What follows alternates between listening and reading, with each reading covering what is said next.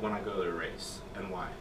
So always gotta have business cards. Always gotta have stickers because everybody wants one and you want to get your name out there. All right.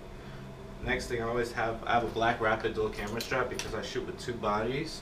I shoot with a 70D and a 60D as my backup, and uh, can't have enough memory cards. Got a bunch of 32 gig UH, UHS 3 cards, and then I have my tripod that I set up on the other side of the track, so I can set up my 60D with my PocketWizards, so I can shoot on both sides of the track and make sure I get enough coverage of the event.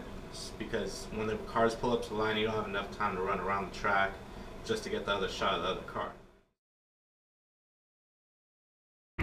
Okay guys, so I just got here, got all dressed, had to come get my media vest. So when you come to Vegas, you gotta go up to the tower and they have your name already on a list. You give them your name, you sign the waiver, and uh, they give you the vest, and then you're able to roam the track freely. Let's go have some good fun racing.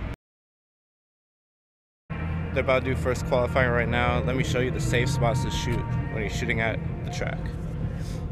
So here's the burnout box. You can either shoot in the red or in the red rod over there, whatever is safest. And where most photographers are gonna be at shooting is where he is, along the sideline right here on either or side. You are allowed to come up here to one of the car stages. This is where the Christmas tree is. And you're allowed to come all the way up right right behind it. You'll see where the pit crew, is. And uh, yeah, pretty simple, easy to do.